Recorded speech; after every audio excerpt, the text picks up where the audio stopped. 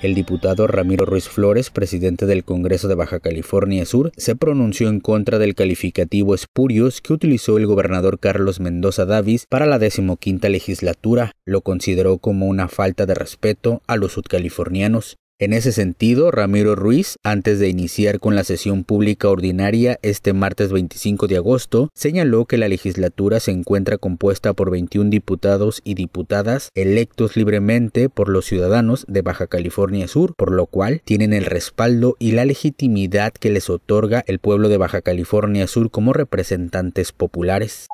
No compartimos ni comparto de ninguna manera el calificativo de espurios en su mensaje de esta mañana el ciudadano gobernador del estado le otorgó a quienes conformamos en este momento el poder legislativo de la entidad. Lo que consideramos una grave falta de respeto a este cuerpo colegiado, pero sobre todo una falta de respeto a los electores que con su voto nos dieron la oportunidad de ser sus representantes. Quienes hoy integramos esta legislatura a través de un servidor, reiteramos nuestra amplia disposición a trabajar en los temas que nos que la sociedad nos demanda, siempre apegados a la legalidad, como hasta ahora lo hemos hecho.